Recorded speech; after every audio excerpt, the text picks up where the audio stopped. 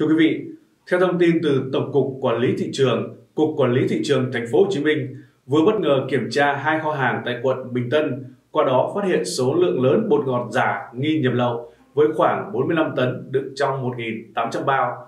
Toàn bộ chữ trên bao bì là Trung Quốc. Đây là loại bột ngọt cấm lưu thông trên thị trường Việt Nam. Tại thời điểm kiểm tra, lực lượng chức năng phát hiện gần 1.800 bao bột ngọt nhãn hiệu hai con tôm loại 25 kg một bao. Bề mặt bao bì của số bột ngọt này đều được in bằng chữ Trung Quốc, không có tiếng Việt.